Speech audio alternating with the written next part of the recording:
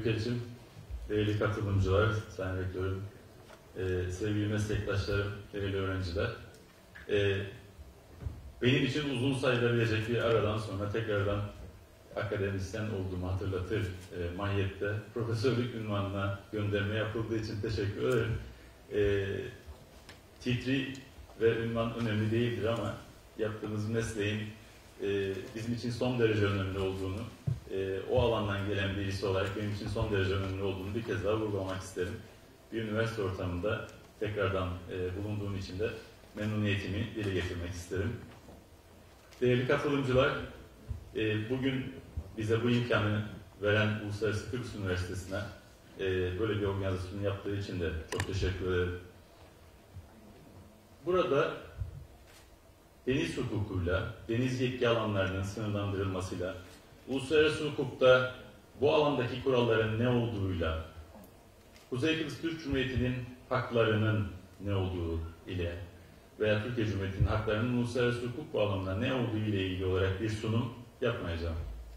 Daha siyasi ve biraz sorgulamaya dönük e, birkaç nokta üzerinde durmak istiyorum ve e, bu oturum ertesinde yapılacak olan tartışmalarda e, bir miktar bu noktaların da irdelenmesi ve sorgulanması gerektiği düşüncesiyle bunu e, vurgulamak istiyorum. Değineceğim iki tane husus vardır. Bana göre son derece önemlidir. Bunlardan birincisi Kıbrıs Rum tarafının ta en baştan itibaren bize dair ortaya koymuş olduğu bir tezdir, bir cümledir.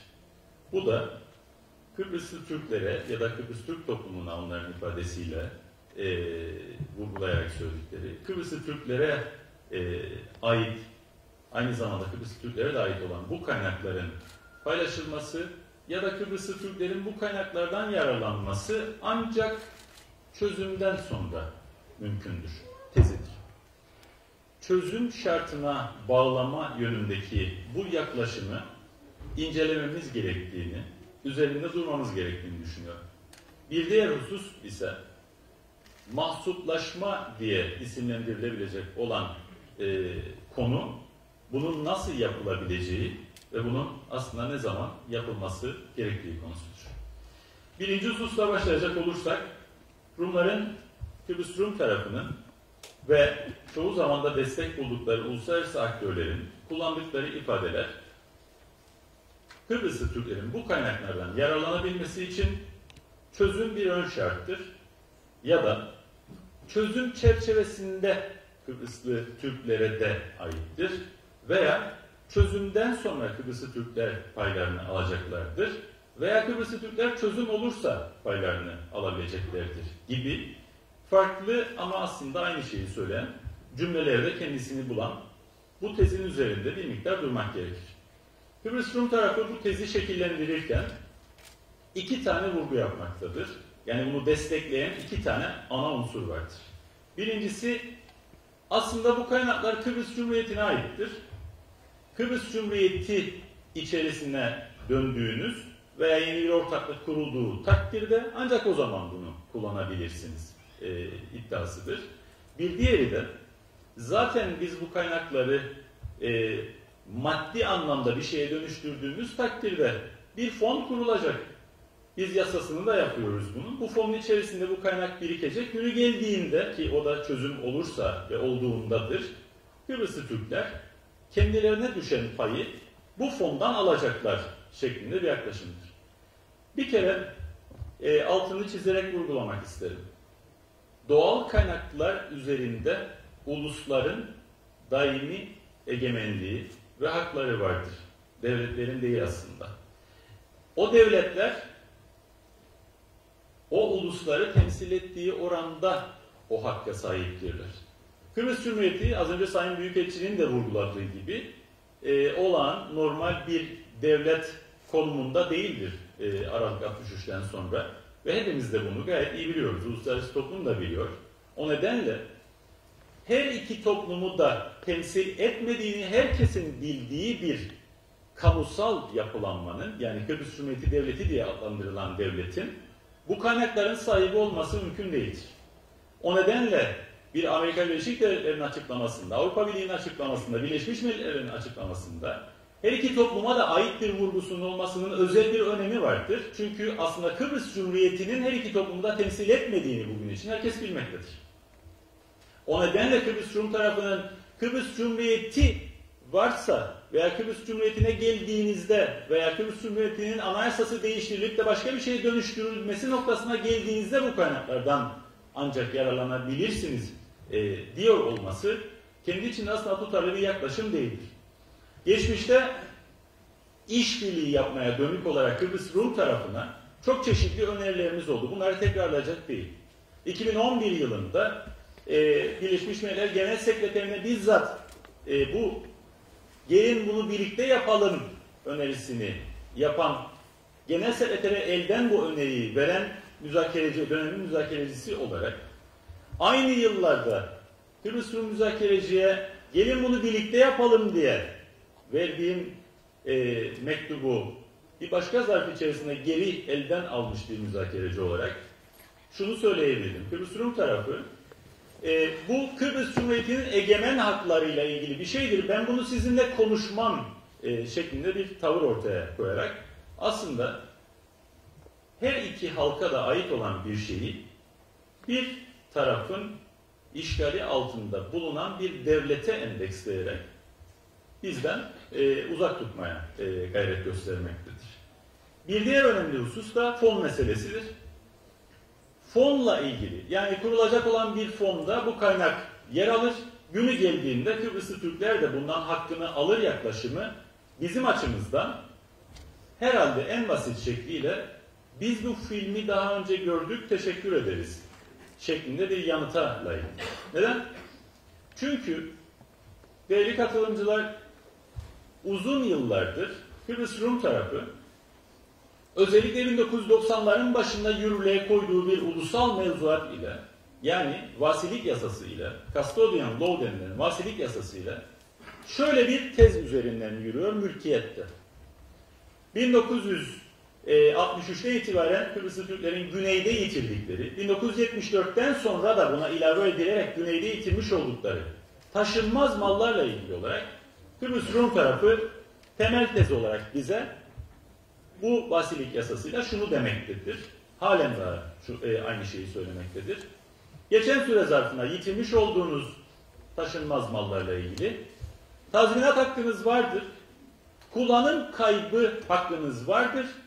Ama bunu ancak çözüm durumunda ancak çözümden sonra alabilirsiniz. Ve bu süre zarfında ben sizin haklarınızı bir fonda biriktireceğim, para ile saklı tutacağım.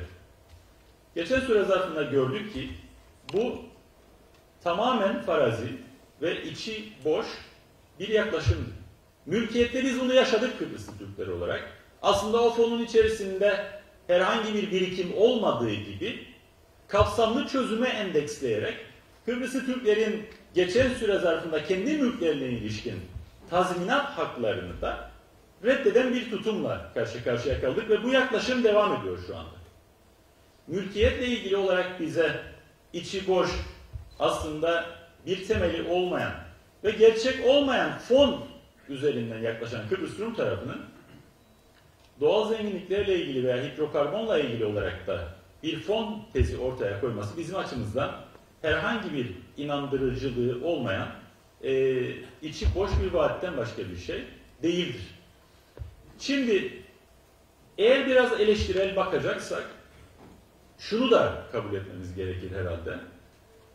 Kıbrıs Türk tarafı ve Türkiye ile birlikte aslında bir açıdan bizler de çözümden sonra çözüm şartlarına bağlı olarak çözümle birlikte şeklinde bir tezi geçmişte bizler de savunduk. Hangi konuyla ilgili olarak savunduk? Taşınmaz mallarla ilgili olarak İnsan Hakları Mahkemesi bağlamında aslında üzerine yaslandığımız temel tezlerden birisi.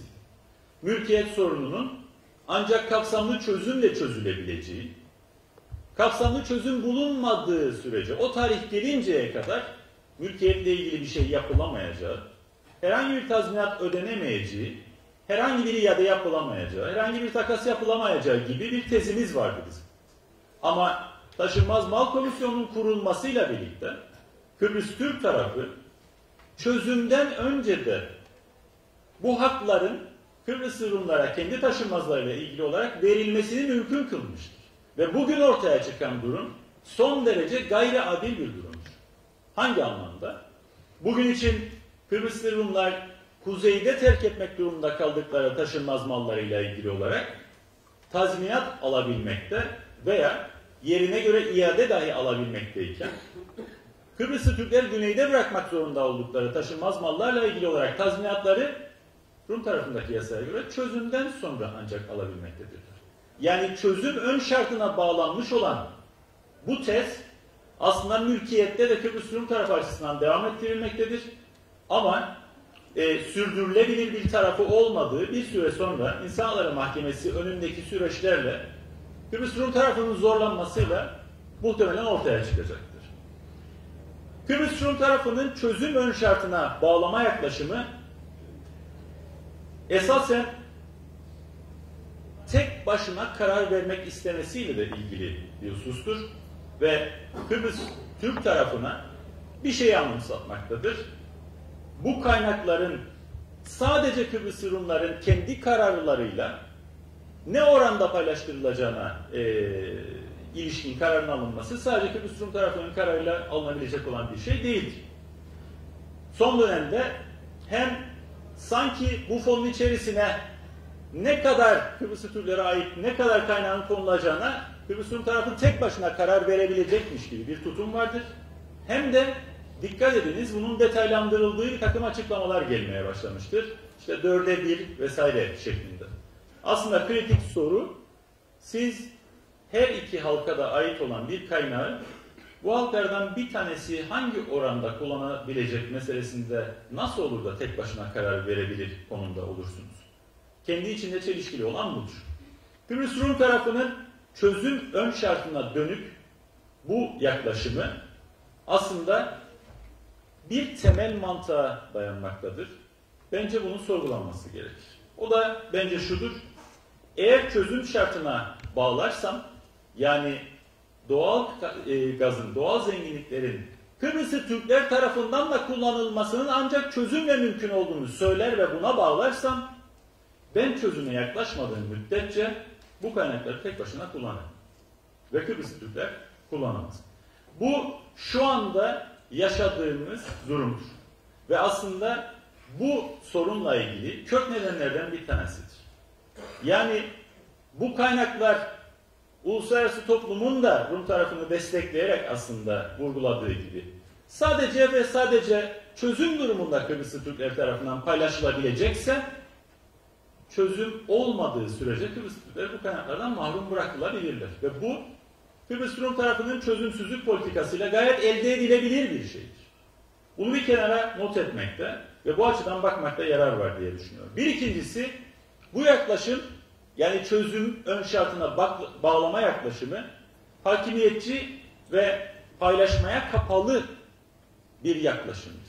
Kıbrıs Türk tarafı açısından 2004 yılında Anlam planı referandumuyla gözlemlediğimiz yönetimi ve zenginliği paylaşmaya hazır olmama hali kendisini doğal gazıkta bu şekilde maalesef e, bulmakta ve bizim açımızdan da Kıbrıs Türk tarafında siyasi anlamda karar verici konumda olanlar açısından da bu bir ortaklığa hazır olmamanın olmuyor olduklarının en önemli göstergelerinden birisi olarak alınmaktadır. Buna bir kenara not etmekte yarar var. Bu sadece o zenginliğin miktarıyla, o zenginliğin ne şekilde paylaşılacağıyla ilgili bir şey değil, gelecekte kurulacağı söylenen ve 50 yıldır aslında uğraşılan bir ortaklığın olasılığıyla da doğrudan bağlantılı bir husustur. Ve bir kenara not edilmesinde yarar vardır. Bir üçüncüsü varacağımız sonuçlardan bir tanesi bütün bu e, söylenenlerden sonra eğer günün sonunda örneğin 10. parselde e, Exxon tarafından yapılan kazılar sonucunda çok daha fazla kaynak bulunursa ve Kıbrıs Rum liderliği kendi haline bırakılırsa paylaşmaya ve çözüme daha da bir uzaklaşma ihtimali çok daha yüksektir. Bu bir realitedir. Aslında sürecin bir süre önce kopartılmış olması ve ilerletilemiyor olması, bir yere vardırılmamış olması tam da bir bakalım bakalım bu kaynaklar ne kadar dolayısıyla fazlaysa zaten çözümsüzlüğü devam ettirerek ben bu kaynakların üzerine konarım gibi bir yaklaşımla doğrudan bağlantılıdır diye düşünüyorum. İkinci önemli nokta Kıbrıs Rum tarafı bıraktığım yerden devam edeyim. Kendi haline bırakılmamalıdır bu konuyla ilgili olarak. Doğalgazla ilgili olarak. Ya uluslararası şirketler belirli bir aşamada ortaya çıkacak liability yani sorumluluk riski nedeniyle bir aşamada devreye girmek durumundadırlar ve girmelidirler aslında. Ya da Kıbrıs Türk tarafıyla Türkiye Rum tarafını bu konuda kendi haline bırakmamalıdır ve bırakmayacaktır. İdeal olan hem uluslararası şirketlerin devreye girmesidir hem de Türkiye Cumhuriyeti ile Kuzey Kıbrıs Türk Cumhuriyeti'nin Kıbrıs Rum tarafını kendi haline bırakmaması ve bu ikisinin bir toplamıdır. Sonuç ve somut sonuç esasen böyle elde edilebilir ve Kıbrıs Rum tarafını hepimiz Kıbrıs'ta gerçekten bu Doğu Akdeniz bölgesinde istikrar arayan herkes Kıbrıs Rum tarafını kendi haline bırakmamalı ve mahsuplaşmaya zorlamalıdır diye düşünüyorum. Peki bu mahsuplaşma ne zaman ve nasıl olabilir? Şahsi kanaatim mahsuplaşma bütün bu yaşadıklarımızdan sonra 50 yıllık müzakere sürecine bakarak mahsuplaşma bir çözümden önce olmalı, bir çözümden önce olma yönünde Kıbrıs Rum tarafı zorlanmalıdır diye düşünüyorum. Sebebi de tecrübeyle sabittir. 2004 yılında Rum tarafı Kıbrıs Türk'ünün rızası alınmadan, Kıbrıs Türk'ü olmadan Avrupa Birliği'ne üye yapılmıştır. Ve Avrupa Birliği'ne üyeliğin ön şartı haline dönüştürülmemiştir Kıbrıs'ta çözüm. Kıbrıs'ta Türklerin rızasını almak da bir şart olarak koşulmamıştır Kıbrıs Rum tarafına Avrupa Birliği'ne giriş öncesinde. Dolayısıyla Avrupa Birliği'ne giriş şartsız, unconditional bir biçimde gerçekleşmiştir. Bu örneğe bakarak bugün için Rum tarafının bu kaynakları kullanması veya satması Kıbrıs Türk tarafıyla bu konuda yani bu kaynaklar konusunda anlaşması, uzlaşması şartına bağlanmak zorundadır diye düşünüyorum. Ve bunun üzerinde fikir yormak, bunun üzerinde e, kafa patlatmak gerektiği kanaatindeyim. Bu mahsuplaşmanın niyet olduktan sonra veya niyet olmasa da mecbur kalındıktan sonra ne şekilde yapılacağı bir yöntem meselesidir ve istenildikten sonra bu yöntem çok kolay bir biçimde bulunabilir. Evet doğrudur. Bugün için Türkiye Cumhuriyeti Kıbrıs Rumların kontrolünde olan Kıbrıs Cumhuriyeti'ni tanımamaktadır. Evet doğrudur. Kıbrıs Rumların kontrolünde olan Kıbrıs Cumhuriyeti Kuzey Kıbrıs Türk Cumhuriyeti'ni tanımamaktadır. Ve evet doğrudur. Kuzey Kıbrıs Türk Cumhuriyeti Kıbrıs Rumların kontrolünde olan Kıbrıs Cumhuriyeti'ni Kıbrıs Cumhuriyeti olarak tanımamaktadır. Ama bunların hiçbiri bu bölgede bir mahsuplaşma için bir araya gelmeye engel değildir. Bölgede her iki tarafa da, her iki taraf tarafından da lisans verilmiş olan şirketler üzerinden bu mahsuplaşmanın, bu diyaloğun başlaması bence mümkündür. Bu anlamda uluslararası şirketlerin ve Türkiye Petrolleri Anonim Ortaklığı'nı da bunun içerisine dahil ediyorum. Taraflar adına ve tarafların vermiş olduğu yetki oranında ve kadar bu diyaloğu e, başlatabileceklerini ve bunun kuşkusuz olumlu ve önemli sonuçları olacağı kanaatindeyim. Bu yapılamıyorsa iki tarafın hisselere sahip olacağı ortak bir şirketin kurulması üzerinden de bu mahsuplaşmanın bir biçimde mutlaka ama mutlaka başlaması gerektiği kanaatindeyim. Peki bu nasıl başlar? Nasıl mümkün hale gelir? 2004 öncesi yanlış politikalarla 2004 ertesinde Avrupa Birliği üyeliğinin çözümün değil, çözümsüzlüğün katalizörü haline dönüştüğü bir örnek var önümüzde. Şimdi doğalgaz yeni ve ilave bir çözümsüzlük katalizörü olma yönünde ilerliyor. Bunda çıkış yolu tarafların bu kaynaklar konusunda masaya oturmalarını sağlamaktır.